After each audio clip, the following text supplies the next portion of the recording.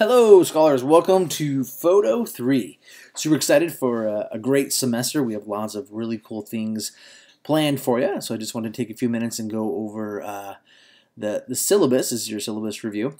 Um, there is a quiz associated with this presentation and the actual syllabus itself. So you need to watch this video and um, read the syllabus and then they'll be take the quiz to earn the points. All right, so let's get going here. Okay, so my contact information, this uh, class is being co-taught um, by myself and by Mrs. Ajima. You can reach us at the, the emails that are posted there. Um, and we'll do our best to answer emails and phone calls within uh, 24 hours. Uh, my office hours are Monday, Tuesday, and Thursday from uh, 3.50 to 4, so right after school, and uh, Friday mornings by appointment. Um, but if you uh, say you're going to be there and you don't show up, um, that would be bad. So don't do that. Um, but if you tell me you're going to be there, I will show up when you are there. Um, I am not available on on Wednesdays. I have um, commitments that I have to uh, to do on Wednesdays, so that's the only day I'm not available. But every day, other day after school, and of course, you're always welcome to come in during independent study time um, as well. Okay, so uh, this is something that might be new for some of you, and for some of you, you've used this with me before. It's a text service called Remind. Um, it's really simple. It's a great way for us to communicate with each other, and uh, we don't have to give each other our phone numbers, which is great. Um, it's real simple. You just got to text uh, at 4399DA to uh, 81010, or you can do it online at the, the link provided in there. This is also in your syllabus as well. This is worth points um, to sign up for this. I will send you reminders of when things are due. Um, also allows you to quickly answer um, questions. This is, without a doubt, the best way to communicate with me. Um, and just so you know, I do have a do not disturb function on my phone. So after 10 p.m., I will not um, answer, but I'll answer first thing in the morning if it's after 10 p.m. So uh, this is something you need to sign up for. Okay, so uh, this is a skills-based class, and we will focus on helping uh, you refine um, your photography skills through exploration of advanced photographic techniques. You will apply um, advanced Photoshop and Lightroom techniques to create products um, for clients and the school. Um, the one of the biggest things is we will be creating a lot of products. We will be creating a lot of things we'll actually be using on campus, so you get to see your work online and uh, printed and uh, making posters and, and things like that as well. Okay, the MYP outcomes. We um, are going to create and present art, develop uh, skills specific to the discipline, engage in a process of uh, creative exploration and self-discovery. Uh, I'm going to pause there for just a moment. One of the things you're going to be doing is exploring types of photography that you're interested in. Um, you're going to be encouraged to do that and, um, and then learn it and then teach others, which is kind of a cool idea. You're going to make purposeful connections between investigation and practice um, understand the relationship between art and its context, and respond to and reflect on art, and then deepen your understanding of the world around you. Okay, one of the biggest components, and this is something new, um, is work-based learning.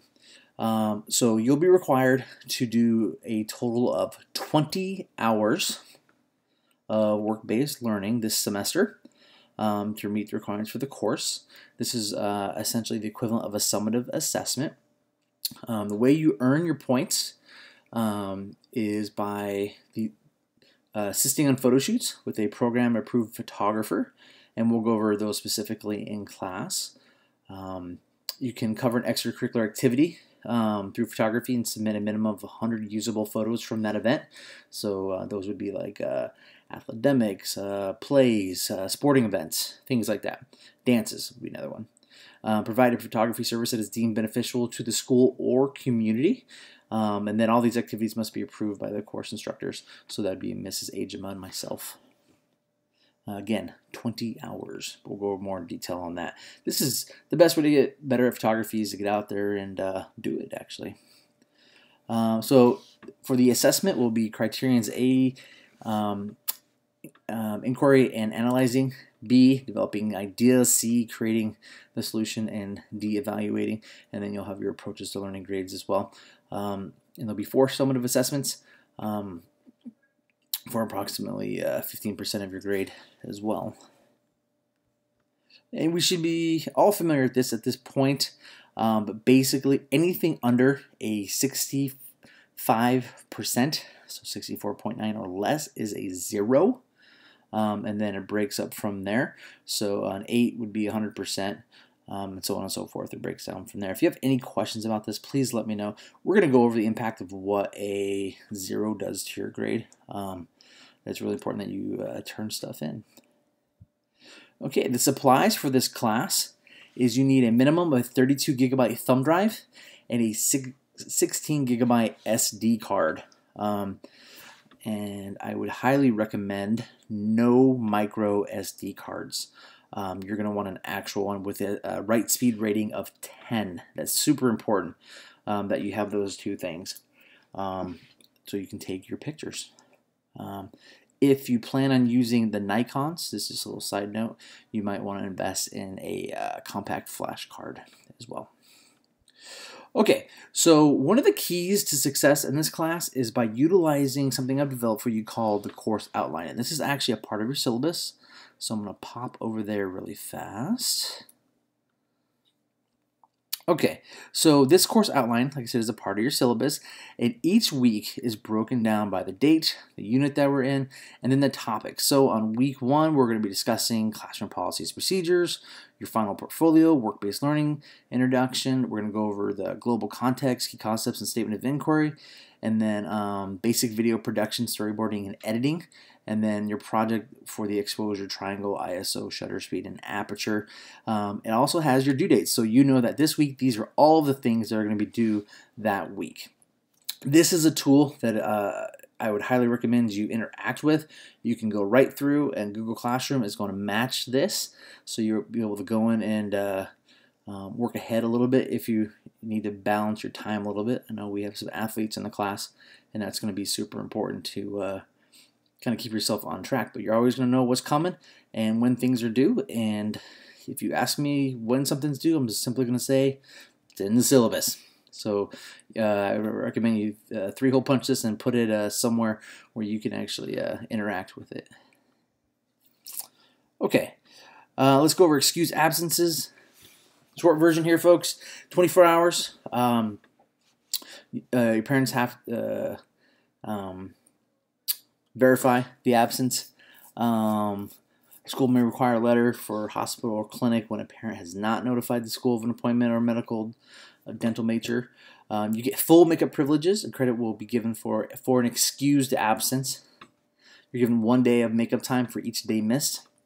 Well, uh, of course, I'll work with you upon the return of the absence um, either provide makeup work um, outside of school or when uh, allowable and work with the scholar during the school day on hands-on assignments that cannot be replicated outside of the classroom. Um, athletes, um, or uh, actually this would apply to also uh, you know people involved in performing arts and things like that too. If you're on trips or anything like that, if it's a planned school absence, so a game, a production, something like that, you need to complete summative assessments before it is due if it is a planned absence. Um, there will be no retakes or makeup on any of the uh, summative assessments.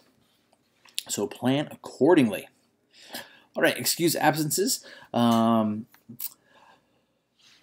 are absences that parents, I'm sorry, unexcused absences are, um, are absences that parents do not verify or authorize. Um, students will, with unverified absences are encouraged to make up missed work, but will not receive credit for that work. The school shall furnish parents and guardians notification of each unexcused absence. So, in other words, don't ditch. All right, late work policy. This is something that was instituted this year, so this should not be uh, new for everyone. Um, but it's um, you can turn in late work up to one week after the due date. No, no late work after the conclusion of the unit, and the highest grade you can receive um, is a three. All right. Um, the redo policy, you'll be given the opportunity to redo any assignments if it was turned in on time. Um, so it's best to turn in something that's not perfect, knowing that you can redo it later versus not turning it in. Um, you have to complete a reflection form along with any uh, redone assignments. And just so you know, there are no redos on summative assessments or the final um, assessment. All right, Project Pass. For successfully turning in the supplies and passing the syllabus quiz, scholars will receive a Project Pass. This Project Pass can be used on, on uh, assignments and projects. The Project Pass excludes summative assessments and the final assessment. If you do not use your Project Pass, you can actually use it to replace your lowest grade in the class.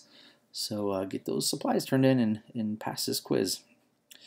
All right, so classroom expectations. We're going to go over these uh, together in class. The best ability is availability. Um, being in class is nothing replaces that, so do your best to be in class. Um, tardies, um, when the door closes, um, you're considered tardy. We will be using the Byrne coin system again, so you can buy your way in if that's the case. Um, you can earn those by, uh, you know, Kahoots and, uh, and turning in excellent work. Um, academic dishonesty, dishonesty uh, will not be allowed. Um, it's really easy for me to check photographs and when they were taken, and um, just remember there's cameras everywhere, so um, just don't do that.